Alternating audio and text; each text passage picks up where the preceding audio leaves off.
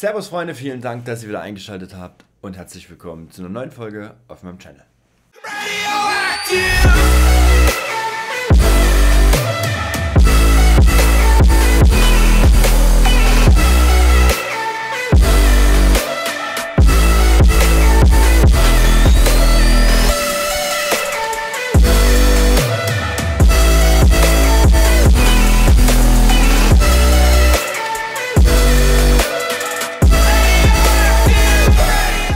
Freunde, wir heute zu einer Tabak-Review von einem Hersteller, den es noch nicht so lange auf dem Markt gibt, beziehungsweise der noch nicht so lange da ist, sage ich jetzt mal ganz plump. Ähm, es ist ein Rapper-Tabak, ihr werdet euch jetzt wahrscheinlich schon denken, worum es hier geht.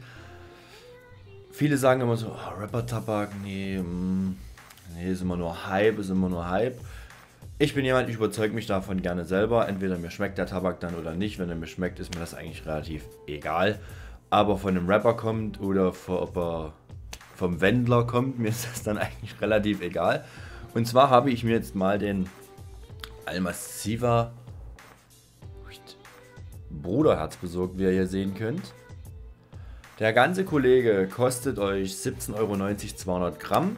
Er ist noch komplett ungeöffnet, also wir testen den hier wirklich komplett live. Ähm, ich finde die Dosen relativ schick, jetzt mal so vom Design her. Da habt ihr halt massiv drauf, ne, mit dem Geschmack. Dann habt ihr gut die Warnhinweise, die müssen halt drauf. Hier noch irgendwelche Daten, nochmal ein Warnhinweis und dann sind wir schon wieder hier vorne.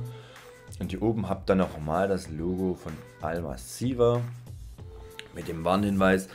An sich sind die Dosen wie die Holster-Dosen oder wie zum Beispiel die Nameless-Dosen, so eine, ja, ich sage immer so eine komische Pappdose. Ähm, optisch gefallen sie mir aber sehr gut. Die Warnhinweise, wie gesagt, müssen drauf sein.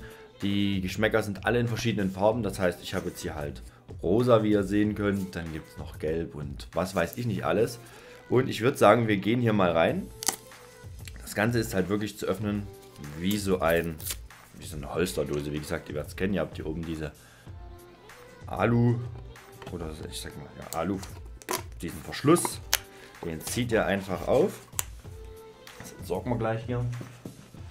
So, und dann habt ihr hier den Schnitt, Freunde. Ich halte das schon ein Stück hoch. So, da seht ihr das Ganze ganz gut. Sieht relativ gut aus. Wir rühren den ganzen Lachs hier mal um. Damit wir da genauer was sehen. Aber so auf den ersten Blick muss ich sagen, sieht er sehr gut aus, beziehungsweise gefällt er mir sehr gut. Hier seht ihr das jetzt, glaube ich, besser. Ist ein relativ feiner Schnitt, wie ich finde. Ich kann jetzt hier auch kein Ästchen oder sowas entdecken. Ist wirklich sehr, sehr gut geschnitten, meiner Meinung nach. Und wir gehen mal in den Geruchstest. Das Ganze soll Drachenfrucht sein. Ja, das Ganze riecht... Hui, hui, hui. Das Ganze riecht sehr süßlich. Fruchtig. Ich kann jetzt ganz schlecht erklären, wie eine Drachenfrucht riechen soll. Aber es riecht, ihr möchtet es riecht sehr, sehr süß. Wirklich sehr, sehr süß. Und dann habt ihr so eine leichte Fruchtnote, die so um die Ecke kommt. Und es geht wirklich... Oh, es geht wirklich voll in die Nase, also jetzt nicht im negativen Sinne gesehen, sondern im positiven Sinne gesehen, geht das Ganze sofort in die Nase. Und ich würde sagen, ich bin richtig gespannt, wie der Kollege schmeckt. Ich gehe mir fix ein Köpfchen bauen, hole die Pfeife rüber und dann sehen wir uns im zweiten Teil, Freunde, beim Rauchtest. So, Freunde, da sind wir wieder. Wie ihr sehen könnt, Köpfchen ist gebaut. Ähm, in erster Linie hoffe ich, dass ihr die Außengeräusche hier nicht so sehr hört. Aber wir ziehen das Ding hier straight durch natürlich. Beim Kopfbau muss ich sagen, ist mir was eingefallen gerade, woran er mich erinnert, beziehungsweise an welchen Tabak er mich erinnert, wenn man an dem Almassiva riecht. Und ich muss sagen, er hat mich sehr an den Alvasir Mystery Land, den ihr hier oben seht, ähm, erinnert. Und ich glaube auch, da war auch Drachenfrucht drin. Ich weiß es aber nicht mehr genau. Aber vom Geruch her hat er mich da sehr dran erinnert. Und ja, Setup der Pfeife ist wie ihr so zum Teil sehen könnt, meine Vuga mit dem Alpaca-Kopf, einer Lager Alufolie, Panzer-Alufolie, dem Sieb vom Apple on Top und drei Black Kokoskohlen und mit dem Japaner Mundstück noch. Und ich würde sagen, Freunde, wir nehmen mal hier den ersten Zug. Drachenfrucht soll das Ganze sein.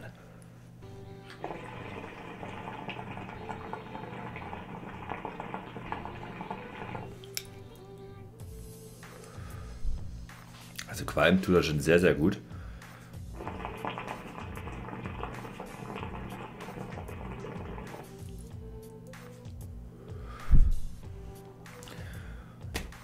Und ich muss auch hier sagen, geschmacklich könntest du denken, dass du Al-Wazir im Kopf hast. Es schmeckt jetzt nicht eins zu eins so. Ich will jetzt hier keinem zu nahe treten.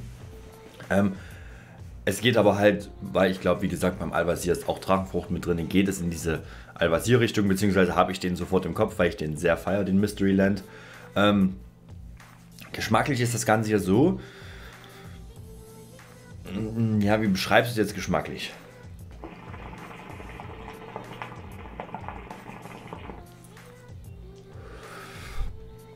Also ich muss sagen, ihr habt ein ganz, ganz, ganz, ganz leichtes Drücken hier.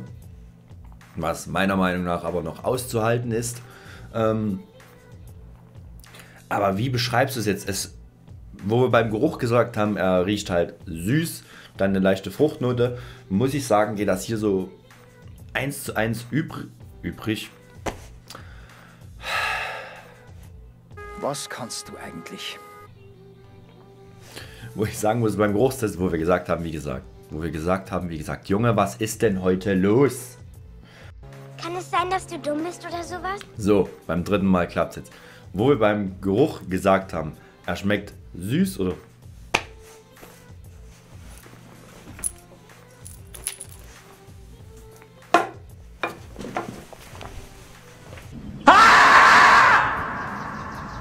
Jetzt aber.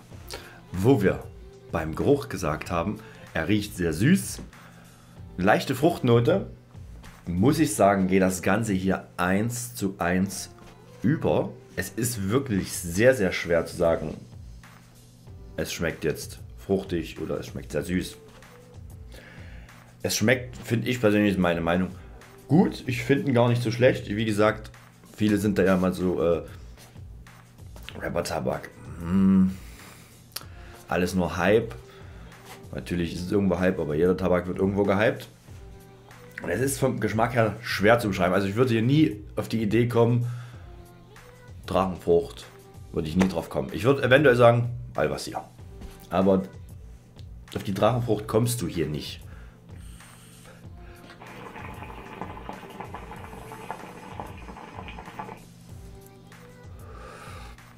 Also wie gesagt, Fazit zum Tabak ist, es qualmt super. Es ist vielleicht ein bisschen ja, gewöhnungsbedürftig, was den Geschmack angeht. Man muss halt drauf stehen. Ich, wie gesagt, ich habe den Albasier geraucht, da ist auch Drachenfrucht drin. Finde den sehr, sehr angenehm. Muss ich sagen, auch der Schnitt, ich hoffe, der Schnitt bleibt auch so. Bei 1,87 ist er ja ein bisschen gröber geworden. Ähm, ich hoffe, der Schnitt bleibt auch so schön fein. Der Kollege gefällt mir wirklich sehr, sehr gut. Ich werde mich ja auch noch durch die anderen Sorten probieren. Leider waren die fast überall ausverkauft. Ich habe mir den jetzt hier bei blubber.oase.de, blubberoase.de, glaube ich, heißen die, bestellt. In zwei, drei Tagen war der auch da. War sehr, sehr schnelle Lieferung. Da ging Grüße raus. Und die hatten, ich glaube, noch zwei oder drei Sorten drin. Und ich hatte mich dafür den entschieden. Ich habe mir mit Absicht nicht mehr geholt, weil ich ja nicht weiß, schmeckt es mir, schmeckt es mir nicht. Aber ich muss sagen, der gute Alma Siva, jetzt habe ich natürlich hier die Banderole davor. Alma Siva Bruderherz kriegt von mir eine ganz klare Kaufempfehlung. Sehr feiner Schmidt. Schmidt.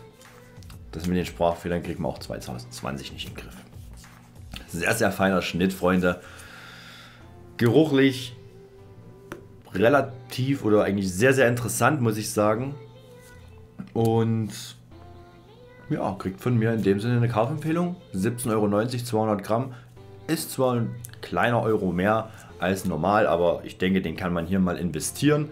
Ich bin gespannt, wie er sich vor allem etabliert jetzt auf dem Shisha-Markt oder ob er dann auch irgendwann wieder weg ist oder ob er wirklich vielleicht sogar der beste Rapper-Tabak wird. Man weiß es nicht, man weiß es nicht. Aber genug gequatscht für heute, Freunde. Der letzte Zug geht auf euch. Ich wünsche euch ein entspanntes Wochenende, raucht ein entspanntes Pfeifchen. Dienstag sehen wir uns dann wieder zu einem Video, wo ich euch versichern kann, dass ihr auf die Idee, also ich, ich sage 80% werden auf die Idee, wie man eine Pfeife sauber macht, nie gekommen. Mehr will ich dazu nicht sagen, Freunde. Schaltet Dienstag ein, wenn euch das jetzt ein bisschen neugierig gemacht hat. Und jetzt der letzte Zug auf euch.